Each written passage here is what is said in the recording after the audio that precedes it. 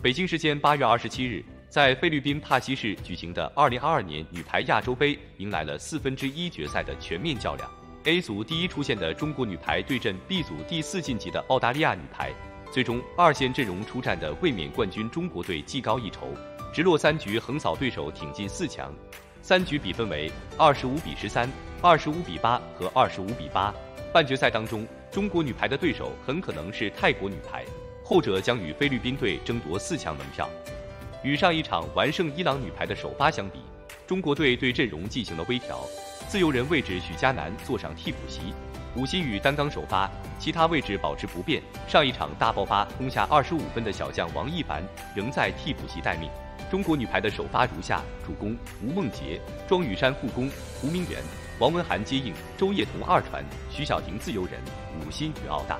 利亚女排首发主攻维勒多德副攻布朗因斯基普接应地平二传斯蒂文斯自由人马兰本场比赛之前，中国女排虽然以年轻的二线阵容出战，但四战全胜保持不败。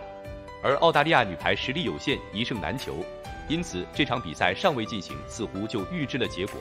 中国队获胜并无悬念，而能否发挥自身优势横扫甚至吊打对手才是最大看点。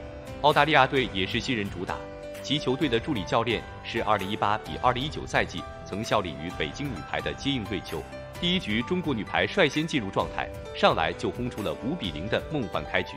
澳大利亚队利用强攻将比分追成了6比7。周叶彤前交叉建功，第一次技术暂停时，中国队8比6领先二分。庄雨珊失误被对手追至八平。持平之后，徐晓婷拦网建功，周叶彤、吴梦洁左右开攻，中国女排16比11拉开分差。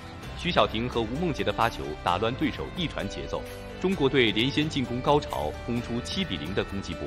本局已无悬念，随着王文涵的快攻一锤定音，中国女排二十五比十三先拔头筹，总比分一比零领先于澳大利亚。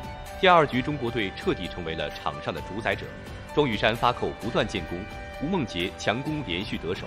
开局二比二平之后，中国队迅速将比分改写为十比二领先。澳大利亚队派上主攻雷根救急，中国队也用副攻曹婷婷换下了胡明媛。从十六比四到二十五比八，中国队火力全开，完全没有给对手反扑机会，轻松拿下第二局。已经进入到自己状态与节奏的中国女排，在第三局势不可挡。吴梦洁的发球让澳大利亚队造成卡轮，八比三、十二比三、十六比五，中国女排已经提前锁定了整场比赛的胜利。后半局中国队持续发力。随着王文涵快攻造成对方触网，中国队以二十四比七轻松拿到赛点。最后时刻，吴梦洁一击致命，中国女排二十五比八单局再次吊打对手，以三比零的总比分轻松横扫澳大利亚，闯进本届亚洲杯的四强。击败澳大利亚队之后，中国女排已经收获了五连胜。半决赛中国队的对手很可能是泰国女排，接下来的比赛才将真正考验年轻的女排小花们。今天的节目就到这，如果你喜欢我们的节目。欢迎点击订阅收藏。